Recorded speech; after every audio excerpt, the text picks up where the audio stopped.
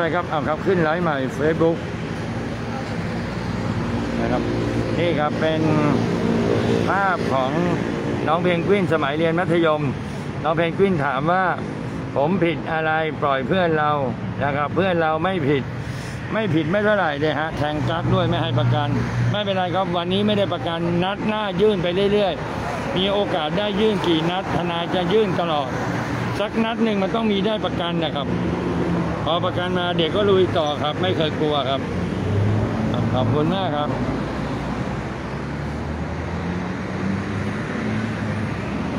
สวัสดีครับนี่ครับคืนคำพิพากษาให้ผู้พิพากษานะครับคืนคำพิพากษาให้ผู้พิพากษาขอบคุณมากครับคุณพี่ครับสวัสดีครับคุณพี่นี่ครับยกเลิกหนึ่งหนึ่งสองนะครับยกเลิกหนึ่งหนึ่งสอง ครับขอบคุณมากครับ อันนี้ชัดเจนเลยครับ ตัวสีน้ำเงินอักษรบนแผ่นป้ายสีเทา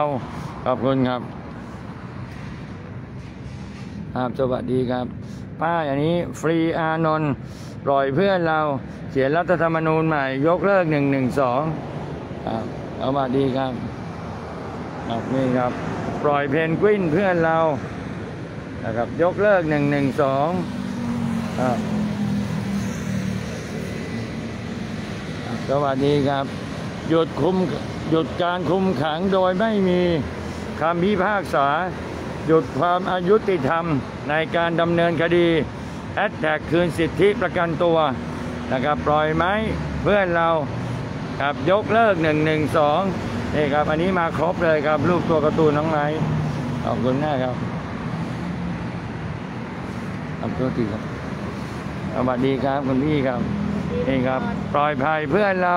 ยกเลิกหนึ่งหนึ่งสองนี่ครับธงสวยงามครับธงน้องทนายอานนท์แฮชแท็กปล่อยเพื่อนเรานะครับแฮชแท็กยกเลิกหนึ่งหนึ่งสองขอบคุณครับสวัสดีครับ นี่ครับแฮชแท็กฟรีราษฎรแฮชแท็กปล่อยเพื่อนเราคืนสิทธิประกันตัวครับชัดเจนเลยครับสวัสดีครับผมนี่ครับ เรียกความสงบจบที่ความยุติธรรม โอ้โห ตรงเป๊ะเลยครับ ขอบคุณมากครับ สวัสดีครับ นี่ครับ ปล่อยเพนกวินเพื่อนเรายกเลิกหนึ่งหนึ่งสองครับ ขอบคุณครับ บางทีมันไม่แน่นะครับ คนเราโดนกระทำโดนอะไรแต่อะไรสารพัดเนี่ย พอถึงจังหวะที่เหมือนกับว่าฟ้ามีตาหรือสวรรค์เปิดนะฮะ อยู่ดีๆ มันวืบชนะขึ้นมาเลย แล้วถึงวันนั้นนะฮะ ทุกคน 13 คนเดินออกมาอย่างสบายเลย ขอบคุณครับ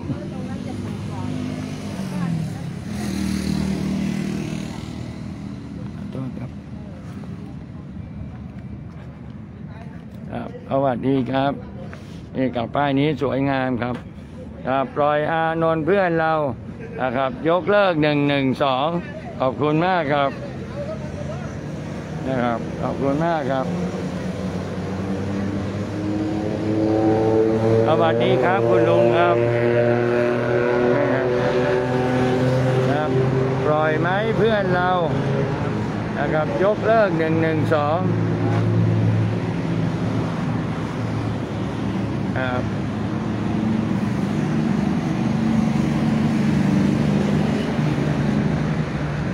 ครับสวัสดีครับ ขอบคุณมากนะครับป้าสวยงามครับนะครับ เป็นรูปหนึ่งหนึ่งสองปิดหูปิดตาครับ ตาช่างนะฮะแล้วก็ดาบมีครบเลยครับ สิทธิการประกันตัวคือสิทธิมนุษยชน เสื่อมศรัทธาสถาบันศาลปล่อยเพื่อนเรายกเลิกมาตรา1นึขอบคุณมากครับคุณพี่ครับ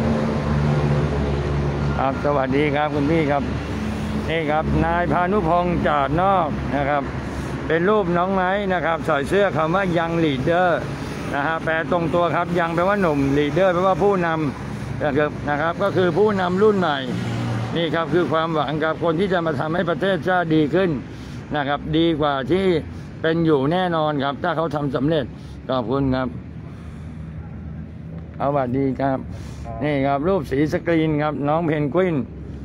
นะครับเห็นแล้วชัดนะฮะถ้าลุงดอนดูโง่เฮงเพนกวินเนี่ยทั้งใบหน้าทั้งหูดวงตาและคิ้วเนี่ย ลักษณะเหมือนที่คนจีนเขาบอกเลยครับ เป็นโง่เฮงที่ดีครับ แล้วก็ชัดเจนนะฮะดีไม่ดีไม่กินข้าว30กว่าวัน อยู่รอดอะขอบคุณครับสวัสดีครับอ่าสวัสดีครับ ขออาดูป้ายใกล้ๆหน่อยนะครับ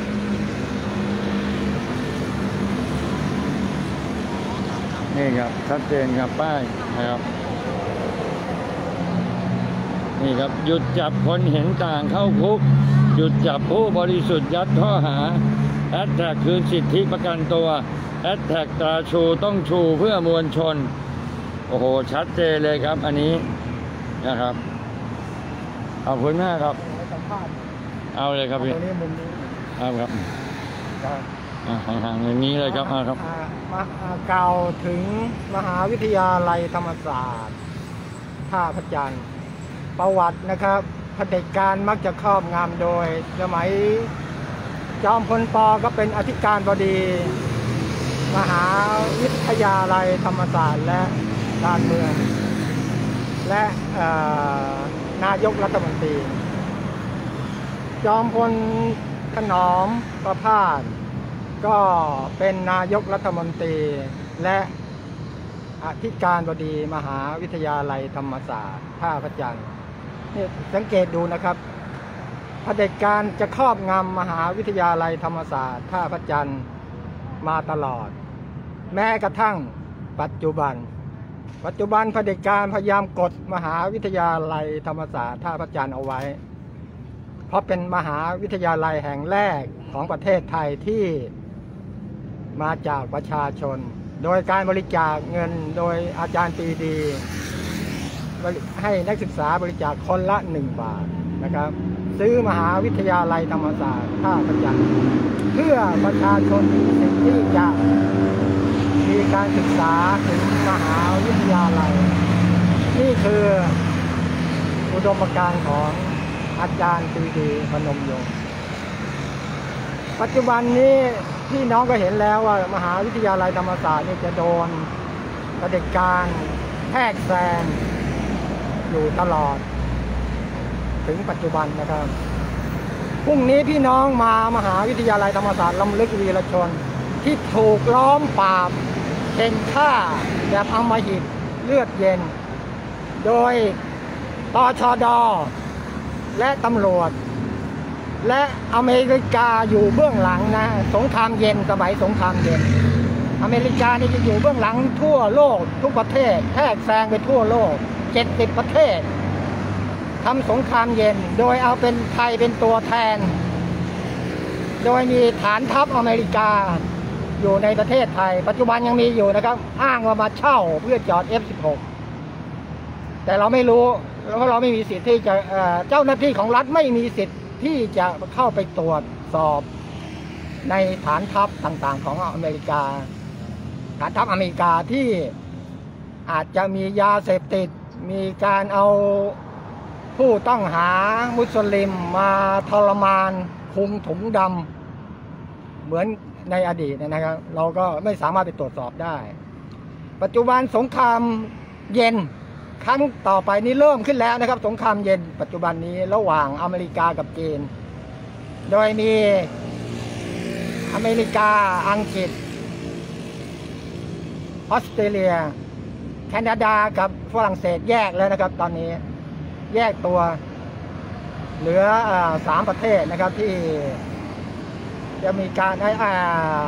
ทำสงครามเย็นกับจีน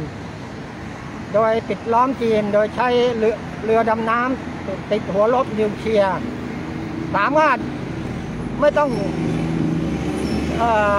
ขึ้นมาเหนือน้ำได้ถึง 30 ปี และไม่สามารถจะตรวจสอบ หรือไม่สามารถจะมีเรดาร์เช็คได้ว่าเรือดำน้ำของอเมริกาอังกฤษและออสเตรเลียอยู่ที่ไหน สามารถไปยิงขีปนาวุธนิวหัวรบนิวเคลียร์ได้ทุกที่ครับ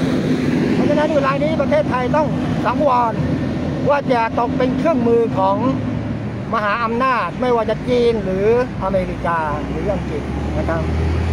ให้ผู้นำประเทศสังวรได้ด้วย ประชาชนไม่ต้องการ เป็นเครื่องมือเหมือนในอดีต ที่ส่งทหารไทย ไปเกาหลี ไปอิรัก ไปแอฟริกานิสถานนี่แล้วผลออกมาคือครับกลุ่ม IS ที่อเมริกาหนุนอยู่ ได้ไปถล่มอ่าแอฟริกานิสถาน เพื่อล้มรัฐบาลเอ่อแอฟริกานิสถานที่รัสเซียหนุนหลังอยู่ แล้วรัสเซียก็แพ้ หลังจากนั้น กลุ่มไอเอก็ถูกตาลิบัน ขับไล่ ปัจจุบันก็หนีกลับมาไทย คือกลุ่มไอเอสนี่จะมีทั้งในไทยนะครับ นักรบกล้าตาย ในไทยในมาเลในอินโดนีเซียฟิลิปปินส์พวกนี้จะกลับตอนนี้กลับมาประเทศเดประเทศแม่หมด ก็ถึงมีการยิเอ่อฆ่าตำรวจฆ่าทหารปัจจุบันนี้ทางใต้นะครับ นี่คือกลุ่มไอเอสที่อเมริกาหนุนหลังอยู่ครับครับ เพราะฉะนั้นพวกเราต้องระวังในสงครามเย็นครับยุคใหม่เกิดขึ้นแล้วนะครับขอบคุณมากครับนี่ครับแกมีความรู้ครับแกก็มาแนะนำบอกพวกเราอ่าสวัสดีครับ นี่ครับมีป้ายอันนี้ป้ายสีดำสวยงามนะครับนี่ครับ สิทธิประกันตัวเท่ากับสิทธิมนุษยชน คืนความยุติธรรมให้ประชาชนแฮชแท็กคืนสิทธิประกันตัว ขอบคุณมากครับ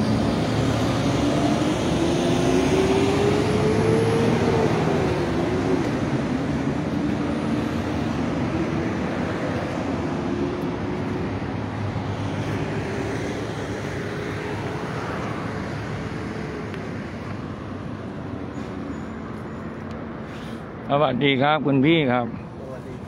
อืมครับศิลปะปลดแอร์ครับ ก็ทางคุณครูใหญ่อัตพล คุณเป่าไอรอ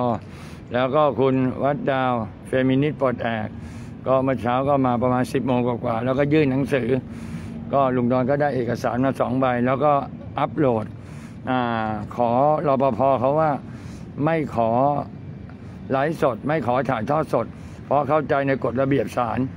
เราไม่ใช่สื่อหลักก็ไม่มีบัตรนักข่าวนะฮะก็ขออัดคลิปวิดีโอ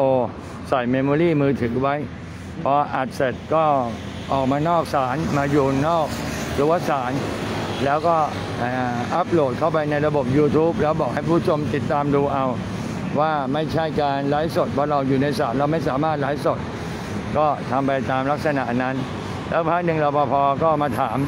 ผมเห็นพี่ไลฟ์สด ขณะที่ไปนั่งรออยู่ในศาลก็เอาหลักฐานให้รปภเขาดูรอพอเขาก็ไม่ได้ว่าอะไรเขาก็ไม่ว่าลุงดอนเขาก็บอกว่าถ้าเกิดไลฟ์สดเนี่ยเราต้องเชิญตัวออกนอกศาลเพราะเราไม่ให้ไลฟ์สด ลุงดอนก็เลยเอาหลักฐานให้เขาดูว่าเนี่ยผมอัดคลิปนะ แต่ผมขอรปภก่อนแล้วสองคนนะครับรปภบอกว่าอนุญาตให้อัดคลิปได้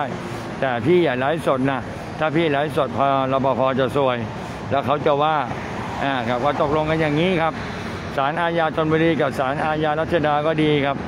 ในลักษณะที่ว่าอนุญาตให้เรานะฮะบันทึกภาพไว้ในมือถือแต่เอาไปอัปโหลดกันนอกศาลนะครับไม่ละเมิดอำนาจศาลครับสาเหตุอะไรครับเขาถึงไม่ให้ไลฟ์สดครับเขาตั้งกฎระเบียบมาในรัฐธรรมนูญครับขอตั้งกฎมาในระเบียบรัฐธรรมนูญครับแบบนี้ประชาธิปไตยมันอยู่ตรงไหนอะมันยังไม่รู้เหมือนกันรอเปลี่ยนแปลงครับ รอให้มหาชนพาไปเดี๋ยวเขียนกฎหมายเลย แล้วค่อยว่ากันครับพอเขาเขียนกฎมาอย่างนี้ เราก็ไม่รู้จะทำยังไงนะฮะเขาเป็นเจ้ากฎนี้เขาเขียนเองหรือว่าประชาชนเขียนขึ้นมาเขาเขียนกันเองครับเขีคยนนกันเองแบบนี้มันมันมันไม่ใช่ประชาธิปไตยแล้วครับแต่แบบนี้คำว่ากีดกันสื่อสื่อแบบไลฟ์สดเนี่ยมันมันไม่สมควรจะมากีดกันครับ ถึงแม้ว่าสื่อนี่จะกีดกันก็จริงครับ แต่ไลฟ์สดแต่ไอ แต่ข่าวเนี่ยออกไปทั่วโลกแล้วครับใช่คคุรัณบไม่ต้องไปปิดบังหรือว่ากีดกันยังไง เหมือนไอไออยู่ในกาลาสมัยดึกดำบรรพ์นั่นน่ะ ครับ ไม่มีประโยชน์ครับ แต่เขาไปกันทั่วโลกแล้ว ทั่วโลกเขาส่งข่าวมาแล้ว ว่าที่ศาลน่ะก็มีการทำอะไรครูใหญ่ทำอะไรต่ออะไรเนี่ยที่คุณไปรังแกเขาทำหาเรื่องเขาทุกสิ่งทุกอย่างนั่นน่ะ ครับ ตอนนี้ทางครูใหญ่ทางคุณเป่าไอรอทางคุณอ่าอ่าวัดดาเฟมินิสต์ปลดแอกก็ยื่นคำสั่งอ่า ยื่นคำร้องไปที่ศาลแล้วแต่ศาลจะไต่สวนพิจารณา แล้วก็มีคำสั่งลงมา ว่าจะคุ้มครองออกคำสั่งคุ้มครองชั่วคราว อนุญาตให้ผู้ถูกประกันตัวทุกคนสามารถเข้าร่วมชุมนุมได้หรือเปล่านะฮะถ้าศาลมีคำสั่งมาอย่างนั้นก็ถือว่าเป็นสิ่งที่ดี ที่ผู้ได้รับการประกันตัวทุกคน ไม่ต้องไปโดนจำกัดสิทธิการห้ามเข้าร่วมชุมนุม ตามเงื่อนไขของศาลเนี่ยครับก็รอความหวังว่าเขาจะว่ากันยังไง ไม่ให้เขาร่วมไม่ให้เขาร่วมชุมนุมเนี่ยมันจะมีประชาธิปไตยตรงไหนการชุมนุมหรือว่าครับ การเห็นต่างกันน่ะมันเป็นความคิดที่แตกต่าง อยู่ที่ว่าคนที่จะคิดผิดคิดถูกเท่านั้นเองอย่างประยุทธ์เนี่ยเข้ามากู้แต่เงินเนี่ยไม่ทำให้ประเทศชาติเสียหายเหรอไม่ทำให้ประเทศชาติล่มจมเหรอไม่ทำให้ประเทศชาตินี่ แบบอะไรสร้างแต่หนี่แต่แต่สินให้กับประชาชนเนี่ยสร้างหนี่สร้างสินให้กับประเทศชาติ เข้ามา 8 ปีนี่กู้ทั้ง 8 ปี แล้วมีอะไรทำให้กับประเทศชาติบ้างครับมีแต่ความเสียหายทั้งนั้นแหละครับหนักแล้วกว่าหนักยิ่งกว่าไอ้ครับนักศึกษาเขาไปชูสามนิ้ว หรือว่าไปพูดใดเรียกร้องความสิทธิตามที่ขั้นพื้นฐานนั่นน่ะครับใช่แต่ครับเนี่ยเสียหายมากกว่าเด็กๆและอีกไม่รู้กี่สิบเท่าครับครับประเทศชาติที่จะรับใช้ไปอีกเท่าไหร่ครับ คนรุ่นหลังเนี่ยจะต้องใช้หนี้สินที่ประยุทธ์ก่อสร้างหนี่มาเนี่ยไปอีกเท่าไหร่อีกกี่ปีอีกกี่คนครับ ครับ เขาบอกว่าใช้มากกว่างบประมาณแผ่นดินไปล่วงหน้า 3 ปี โอ้หงายท้องเลยครับสามปีนี่กี่กี่ชั่วคนเนี่ยที่ไอ้สามปีเนี่ยที่จะต้องปีหนึ่งใช้สามล้านล้านงบประมาณแผ่นดิน แล้วเขาบอกใช้โอเวอร์โหลดเอาเงินในอนาคตใช้ล่วงหน้าโดยกู้ต่างประเทศเข้ามา โอ้โหครับหน้ามืดเลยครับคนไทย แล้วไปกู้ต่างประเทศมาคือต่างประเทศเขาไม่ยึดประเทศไทยเนี่ย มันมันมันมันไม่ล่มจมไปเลยครับอื้อหือครับสุดยอดนะฮะกลัวจะต้องขายโฉนดเลยครับแบบนี้ใครขายชาติอะใครทำลายชาติอะครับใครมันทำให้ประเทศชาติเสียหายอะครับต้องมันขายเป็นชัดเจดินนกินอย่างเงี้ยครับครับขอบคุณมากครับคุณพี่ครับชัดเจนเลยครับ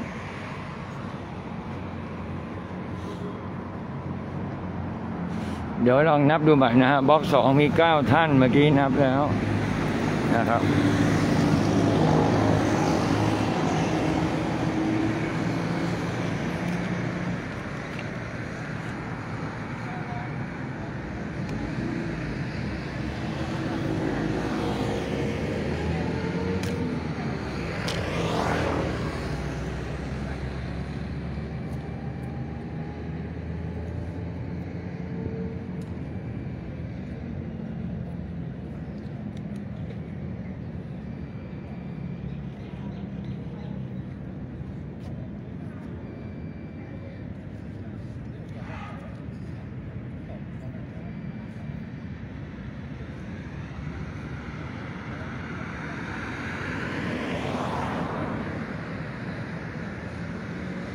ตอนนี้31ท่านแล้วครับนะครับ คนที่มาร่วมชุมนุมนะครับ สวัสดีครับ คุณจินตนาคุณผ่านมาแค่ให้จำนะครับ คุณพันทิพย์สวัสดีครับ คุณจินสวัสดีครับ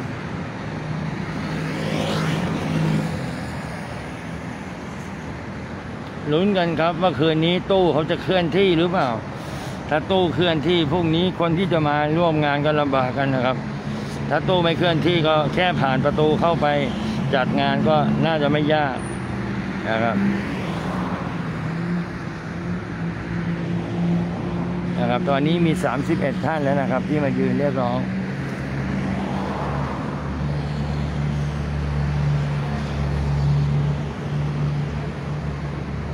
สักครู่นะครับ ท่านผู้ชมขอเช็คอีกกล้องหนึ่งก่อนครับ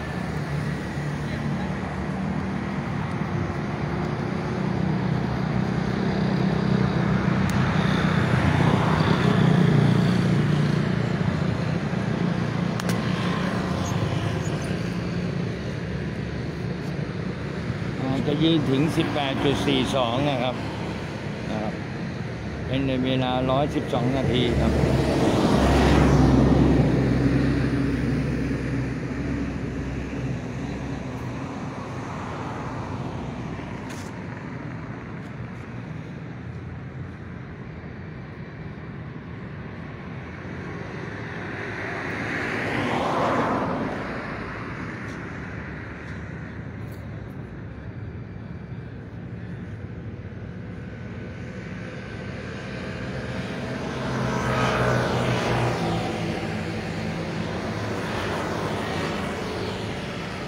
ไม่แน่ใจอะครับว่าข้างในมหาวิทยาลัยธรรมศาสตร์จะมีการปรับปรุงจริงหรือเปล่าครับสักครู่นะครับ คอมเมนต์ไม่ขึ้นนะครับ ต้องขอโทษด้วย คอมเมนต์ YouTube อ่าครับขึ้นมาแล้วครับ ต้องขอโทษด้วยนะครับทางทางผู้ชม YouTube นะครับ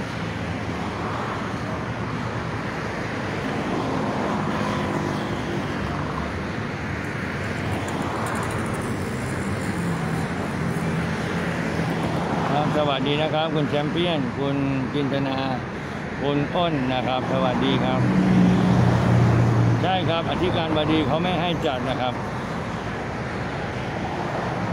ใช่ครับ ไม่แน่ใจฮะว่าลิมหรือเปล่าครับ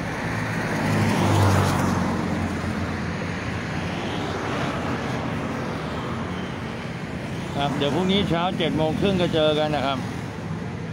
ดีครับ เอาไปจัดที่สนามหลวงเลยครับ นะฮะเดือดร้อนกันทั่วหน้าเลยครับถ้าจัดที่สนามหลวงตัวใครตัวมันนะครับ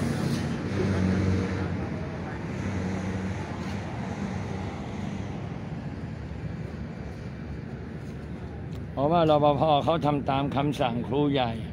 ถ้าถ้าถ้าเปลี่ยนมาธรรมศาสตร์เป็นโรงเรียนนะฮะอธิการก็เป็นครูใหญ่รปภก็เป็นพะโลงนะฮะครูใหญ่สั่งยังไงพะโลงก็ต้องทำตามอย่างนั้นนะครับ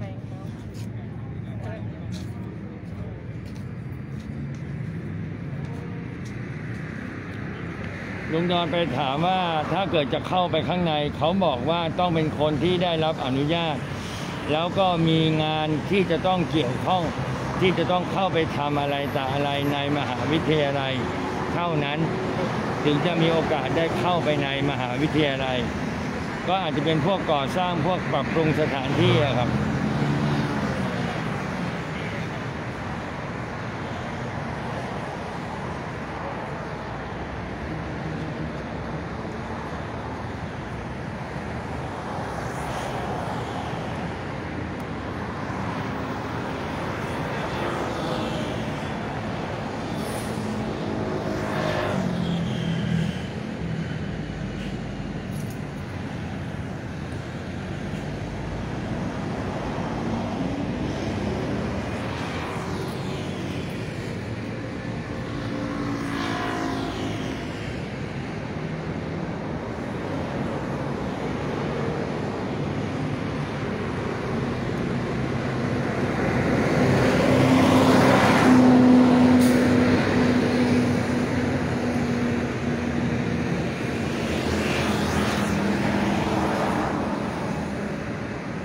อ่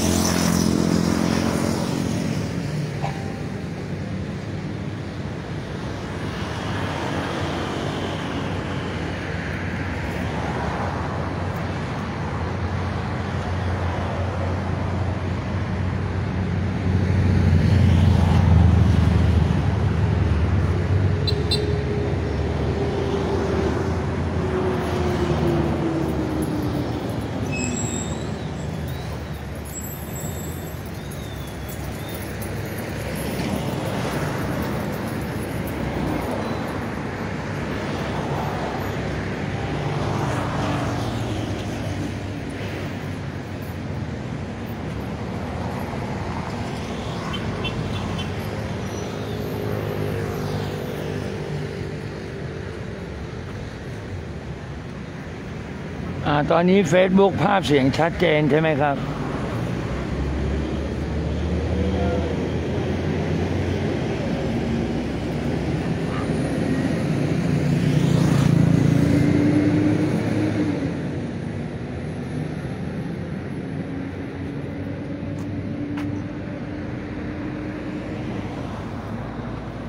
ครับคุณนนท์ประวิทย์สวัสดีครับ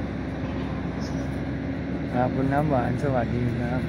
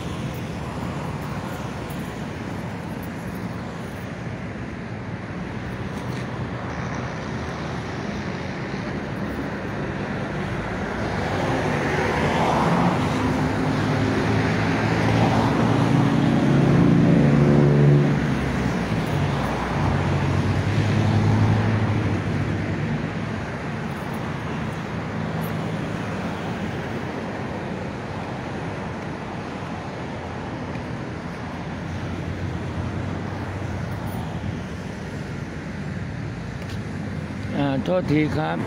ท่านที่อยู่ใน YouTube ช่วยเช็คใน Facebook ให้ลุงดอนหน่อยครับ ว่าไลฟ์สดในของลุงดอนตอนนี้ยังแพร่ภาพอยู่หรือเปล่าครับ นะครับไลฟ์สดใน Facebook เพจลุงดอนเกตเผือตอนนี้ยังแพร่ภาพอยู่หรือเปล่าครับ ทาง YouTube ช่วยเช็คให้หน่อยครับ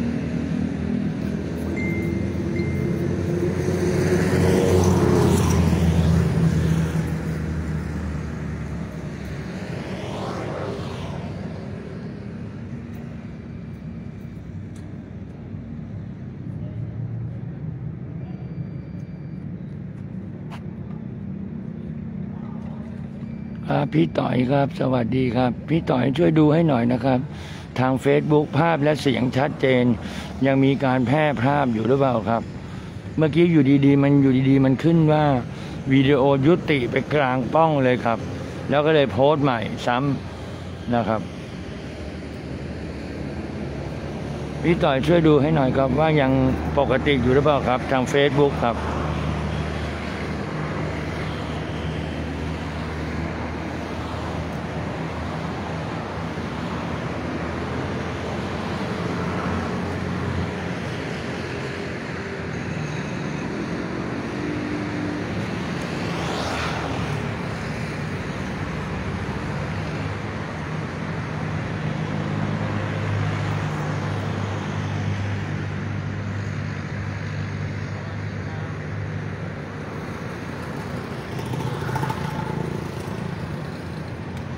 ครับขอบคุณมากครับ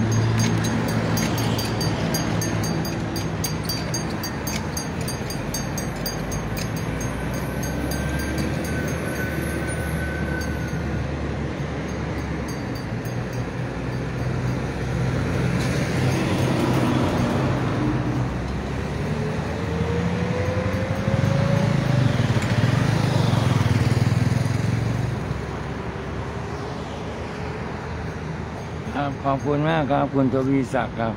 ยกเลิกหนึ่งหนึ่งสองปล่อยเพื่อนเราครับ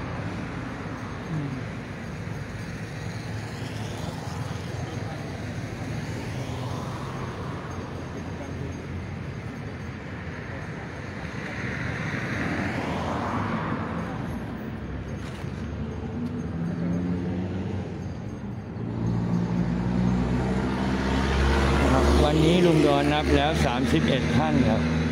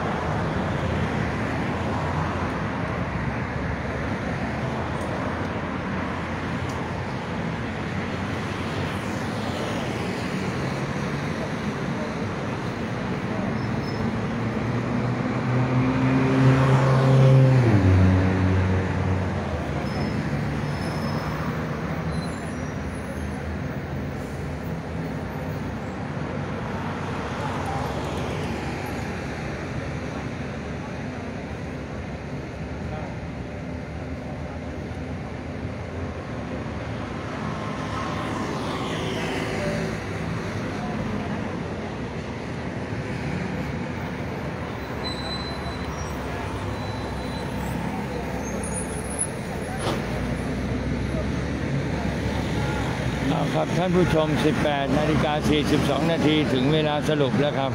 วันนี้มีความคืบหน้นะครับ ถึงเวลา 18 นาฬิกา 42 นาทีถึงเวลาสรุปงานวันนี้แล้วครับนะครับ วันนี้มีคนยืนทั้งหมดนะครับ 31 ท่านครับ ครับวันนี้ก็เป็นวันที่เรามาร่วมกัน จกรรมเป็นวันที่ 51 แล้วนะครับ วันอังคารที่ 5 ตุลาคม 64 ก็ขอบคุณทุกท่านนะครับ โดยเฉพาะพี่อู๊ดนะครับวิบูลบุญพัฒนรักษา พ่อภัยดาวดินที่มาร่วมทำกิจกรรมกับพวกเราด้วยนะครับ ความคืบหน้าในคดีที่เกี่ยวข้องในการแสดงออกความคิดเห็นทางการเมืองนะครับ เมื่อ วันที่ 30 กันยาที่ผ่านมานะครับ ที่สอนอลุมพินี9นักกิจกรรมและประชาชนได้ทยอยรับทราบข้อกล่าวหา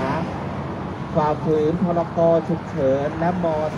385 จากกรณีเข้าร่วมกิจกรรมม็อบ 4 กันยาถอนรากระบอบปรปรสิตเดินขบวนจากสถานทูตสวิตเซอร์แลนด์ไปยังรูปปั้นรัชกาลที่ 6 สวนลุมพินีจัดโดยกลุ่ม REDEM นะครับ นักกิจกรรมและประชาชนทั้งเก้าได้แก่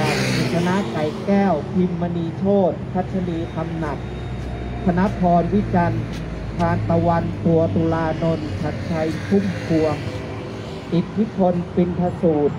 อันฟานดอเลาะ และกิติศักดิ์กองเงินงาม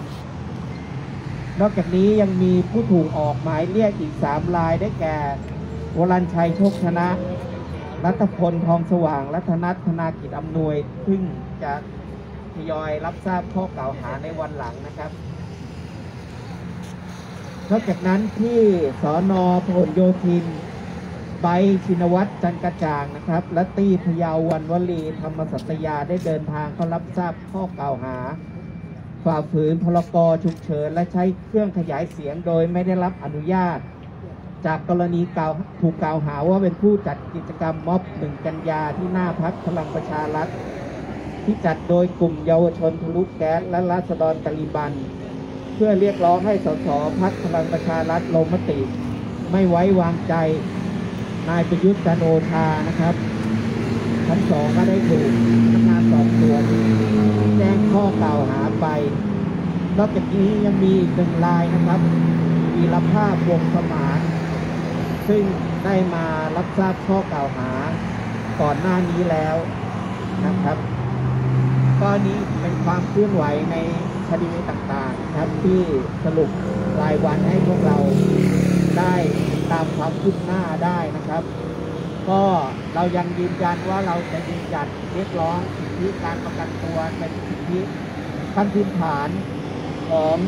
ผู้ที่ยังไม่ถูกตัดสินว่าถูกหรือผิดนะครับ ในคดีทางการเมืองโดยเฉพาะการแสดงออก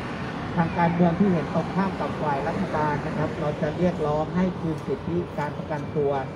กับพวกเขาเหล่านี้นะครับ ขอเชิญชวนทุกท่านนะครับหันหน้าเข้าหาสารดีกาแล้วโชว์สามนิ้ว เป็นคำแสดงเจตนารมณ์ของเรานะครับสามคำคือปล่อยเพื่อนเราปล่อยผู้บริสุทธิ์คือสิทธิการประกันตัวสามครั้งพร้อมกั นึ่งสองสามปเพื่อนเราไปผู้บริสุทธิ์คืนสิทธิการประกันตัวไปเพื่อนเราไปผู้บริสุทธิ์คืนสิทธิการประกันตัว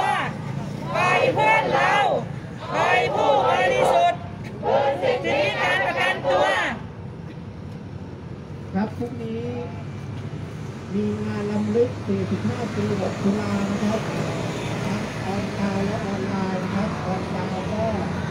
ที่สวนปฏิมาบางโตนะครับบ้านหอมทิ้งใจธรรมศาสตร์ท่าพระจันทร์นะครับตั้งแต่เจ็ดโมงครึ่งถึงเที่ยงส่วนออนไลน์ก็จะมีกิจกรรมที่หาดูได้นะครับ จากเฟซบุ๊กเพจวันที่ 6 ตุลานะครับคืนนี้ก็จะมีเสวนากันด้วยนะครับ ไปดูได้มีลิงก์นะครับนะครับผม ขอบคุณทุกท่านมากๆที่มาร่วมกิจกรรมพรุ่งนี้มีงานบุญที่ธรรมศาสตร์นะครับผมแล้วได้เป็นกายภาพขาก่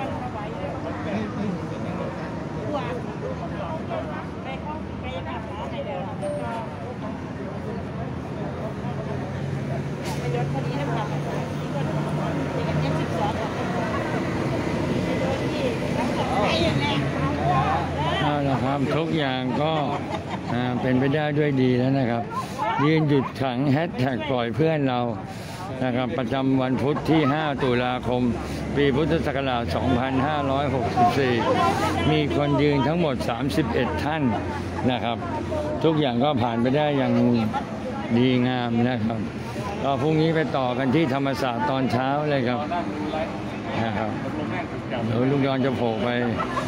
ดูที่แยกดินแดงใต้ทางด่วนนะครับ ทางตาลีบันขอบคุณมากครับเนี่ยครับมาร่วมแรงร่วมใจกันครับ ยืนเพื่อส่งสารส่งเสียงส่งภาพไปให้คนเขาดู ให้คนเขารู้ว่าแฮชแท็กปล่อยเพื่อนเราครับ ยืนหยุดขังแฮชแท็กปล่อยเพื่อนเราปล่อยตัวนักโทษการเมืองที่ถูกคุมขังอยู่ในเรือนจำทุกที่ครับนะครับ ลุงยอนฝากทุกท่านช่วยกดไลค์ กดแชร์ กดติดตาม ในช่อง YouTube ลุงยอนเกตเผือกด้วยนะครับ และช่อง Facebook เพจลุงยอนเกตเผือกด้วยนะครับ ขอบคุณทุกท่านที่ติดตามรับชมครับ ขอยุติการไลฟ์สดแต่เพียงเท่านี้ครับ สวัสดีครับ